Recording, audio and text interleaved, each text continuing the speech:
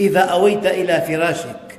فعن أبي هريرة رضي الله عنه قال وكلني رسول الله صلى الله عليه وسلم بحفظ زكاة رمضان فأتاني آت فجعل يحثو من الطعام فأخذته وقلت والله لأرفعنك إلى رسول الله صلى الله عليه وسلم. قال إني محتاج وعلي عيال ولي حاجة شديدة. قال فخليت عنه فأصبحت فقال النبي الكريم يا أبا هريرة ما فعل أسيرك البارحة؟ يعني وكله النبي بحفظ أسير عنده.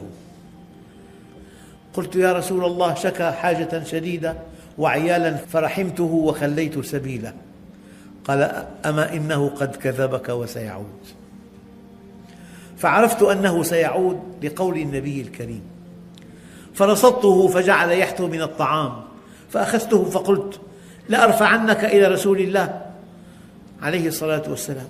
قال دعني فإني محتاج وعلي عيال لا أعود. فرحمته وخليت سبيله. فأصبحت. فقال لي رسول الله عليه الصلاة والسلام يا أبا هريرة ما فعل أسيرك؟ قلت يا رسول الله شكى حاجة شديدة وعيالا فرحمته فخليت سبيله. قال أما قد كذبك وسيعود. فرصدته الثالثة فجعل يحثو من الطعام فأخذته. فقلت لأرفعنك إلى رسول الله صلى الله عليه وسلم. وهذا آخر ثلاث مرات تزعم أنك لا تعود. ثم تعود قال دعني أعلمك كلمات ينفعك الله بها. قلت ما هن؟ قال إذا أويت إلى فراشك فاقرأ آية الكرسي. إذا أويت إلى فراشك فاقرأ آية الكرسي. الله لا إله إلا هو الحي القيوم. حتى تختم الآية. فإنه لن يزال عليك من الله حافظ ولا يقربنك شيطان حتى تصبح. فخليت سبيله. فأصبحت فقال لي النبي الكريم ما فعل أسيرك البارحة؟ قلت يا رسول الله زعم أنه يعلمني كلمات ينفعني الله بها فخليت سبيله. قال وما هي؟ قلت قال لي إذا أويت إلى فراشك فاقرأ آية الكرسي من أولها حتى تختم الآية. وقال لي لا يزال عليك من الله حافظ ولا يقربنك الشيطان حتى تصبح. فقال النبي الكريم أما إنه قد صدقك وهو كذوب. تعلم من تخاطب؟ منذ ثلاث ليال يا أبا هريرة. قال لا. قال ذلك الشيطان. في صورة إنسان طبعا.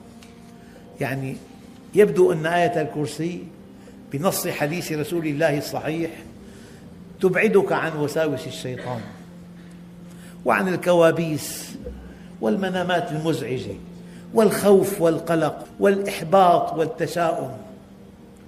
لكن بمعناها الله لا إله إلا هو ما في غيره. هو الغني هو القوي هو الرحيم هو الرزاق هو الفعال. الله لا إله إلا هو الحي القيوم. لا تأخذه سنة ولا نوم. له ما في السماوات والأرض.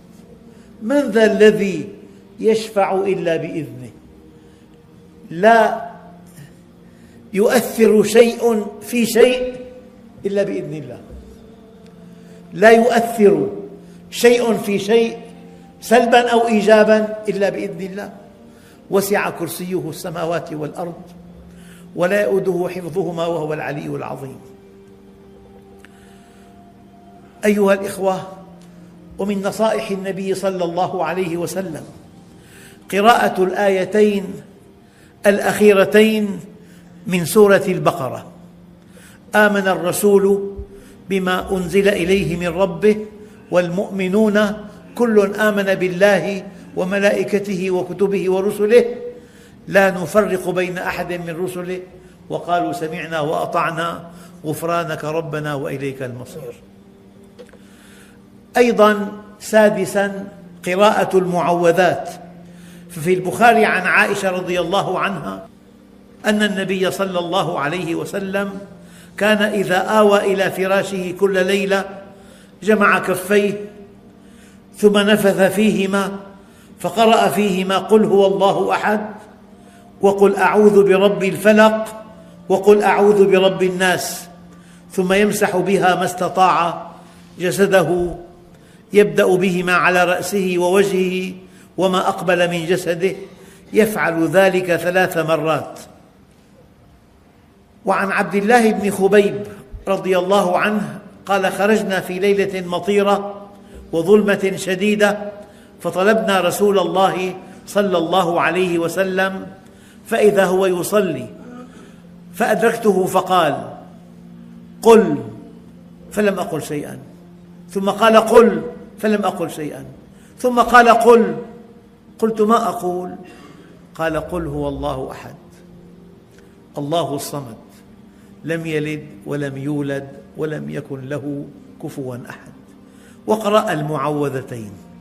حينما تمسي وتصبح ثلاث مرات يكفك من كل شيء. وفي رواية ما تعوذ الناس بأفضل منهما بالمعوذتين. ما تعوذ الناس بأفضل منهما.